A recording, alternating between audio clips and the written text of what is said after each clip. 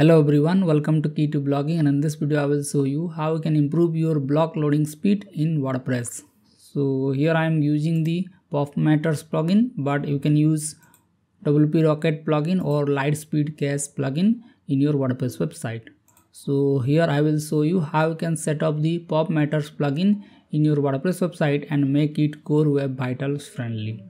So let me just go to the website and let me just copy the block URL and I will go to page speed insight tool. And I will enter the website URL here. And I will click on analyze. And let me just scroll down. And as you can see the page speed is around 66 and it is not passing the core web vitals. And when I check this it will show huge next gen format images in WordPress. And when I click on render blocking resources it will show some css library here. And let me just click on reduce unused javascript and css so you can fix this issue by using the Perfmatters plugin. And as you can see it is showing default off-screen images. So you can fix this by implementing the lazy load images in your WordPress website. And let's scroll down. And as you can see the total page size is around 1780 kV so let's fix this issue. So for this i will go to my wordpress dashboard and go to the plugins and click on add new. And i will upload the Perfmatters plugin. By the way Perfmatters plugin is a paid plugin and the wp rocket also a paid plugin. Or you can use a free plugin like LiteSpeed cache. If your server is based on LiteSpeed so let's upload the Perfmatters plugin. So i will click on upload and i will choose the file.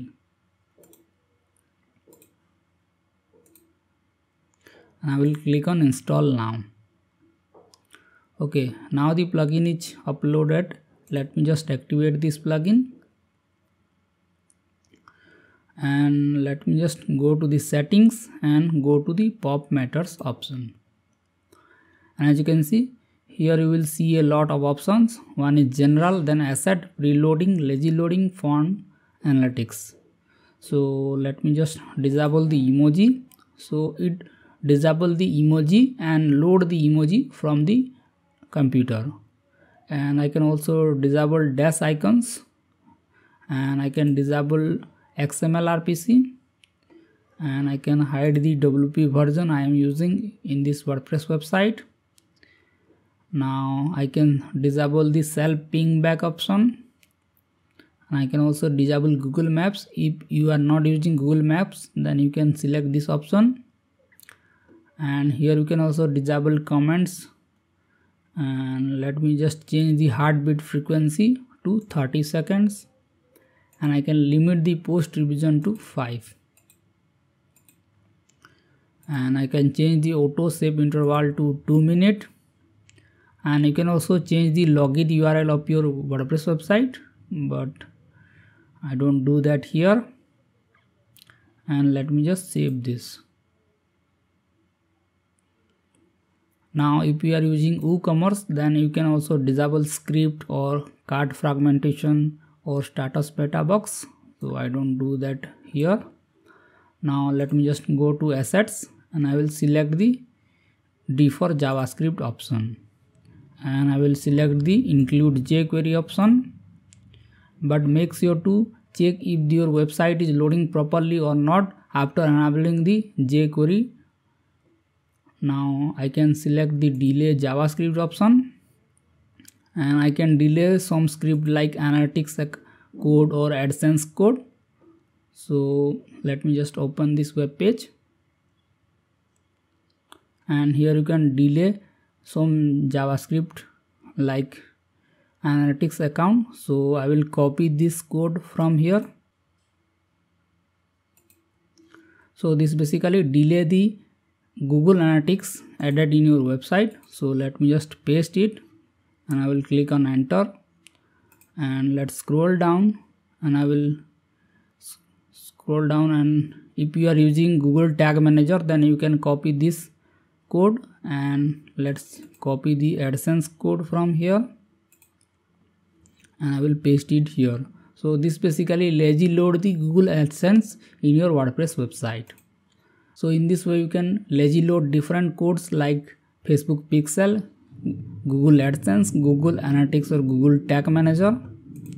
And I will change the timeout setting so I can leave this to none.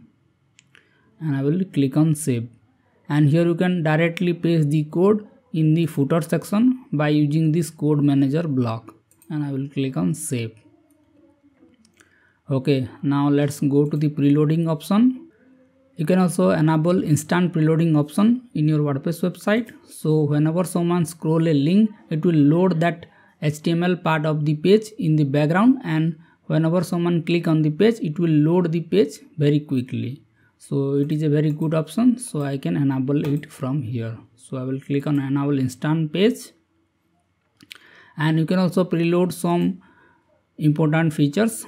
So when i go to page speed and scroll down the option like avoid changing critical request. So here you can some copy the url like this. And you can go to Perfmatters and paste the url here and click on add new. So in this way you can copy this link and then paste it in the Perfmatters preload section. So in this way you can preload your important resources and load the website faster. And you can also use the pre-connect feature and DNS prefetch feature. So for this I will click on save. So preload basically load the important resources before the website loading. So you will not get the error like avoid sending critical request. So make sure to preload that request. But don't put so many requests in the preload section otherwise it will not work properly.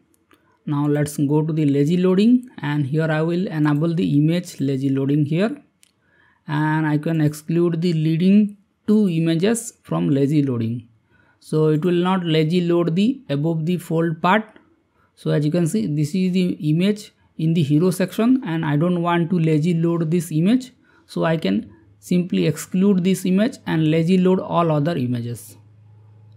So as there is two images in the above the fold part so I can select two excluding image and let me just enable the lazy loading of videos and I will click on YouTube preview thumbnails so it will show a preview of the YouTube thumbnails and it will not load the entire iframe in the web page. And whenever someone click on the iframe it will load the backend code. Now let me just save changes. Now let's click on font and here you can swap out the actual font with the system font. And here you can disable google font altogether and click on save changes and you can also enable the CDN to your website. And let's click on analytics. And you can also enable local analytics. And you can also add the tracking ID here. And here you can anonymize IP or you can disable display features. So I don't use this feature. Okay let's go to the page speed insight and let me just read on this test so before the score is 66 so let's click on analyze here. Okay now scroll down and as you can see the page speed has improved significantly in mobile. And as the website is a e-commerce website we can just remove everything from this website and load the page super fast but you can at least improve the page loading speed. Now scroll down and and as you can see the page size has also decreased a little bit and before it was more than 2000 kb but now it is loading just 1300 kb in the front end. So in this way you can improve your block loading speed in wordpress. And you can also use wp rocket plugin or you can use the LiteSpeed cache plugin in your wordpress website. So let me just read on this test again. And as you can see the space speed is quite good. And you can also remove the unnecessary plugin from your website to improve the speed further. And let me just break down this. And as you can see out of total 1297 kb image is taking around 900 kb. So which is around 80% of the page size. So you can optimize the image of your website by using plugins like ShortPixel so i will go to plugins and click on add new. And i will search for ShortPixel